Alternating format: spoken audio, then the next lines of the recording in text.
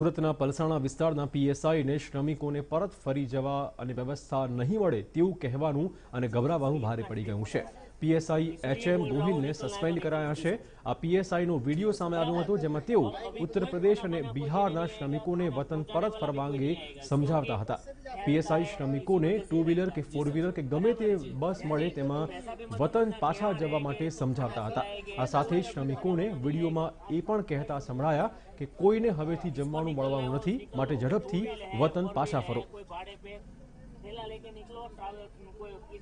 दो दिन के बाद वापिस सब क्लोज हो जाएगा मैं नीचे भी नहीं उतरने दूँगा। जी जी अभी इतना स्ट्रिक होने वाला है। इसीलिए बोल रहा हूँ निकलना है तो निकल जी सर। ठीक है सर। बराबर। और अभी कोई खाना बना कोई देने नहीं आएगा खाना पहुँचाने वाला भी कोई नहीं आएगा क्योंकि फैलता है इसी वजह से फैलता है। जी सर जी। बराबर है। जी। यानी तुम ऐसा भी मत समझना कि यहाँ रहेंगे तो खाना खिलाएँगे। कोई अभी खाना बना नहीं आएगा। आज शाम का ही बंद कर दिया। इसको निकलना है वो निकल लो। टू व्हील है फोर व्हील है कोई भाड़े पे।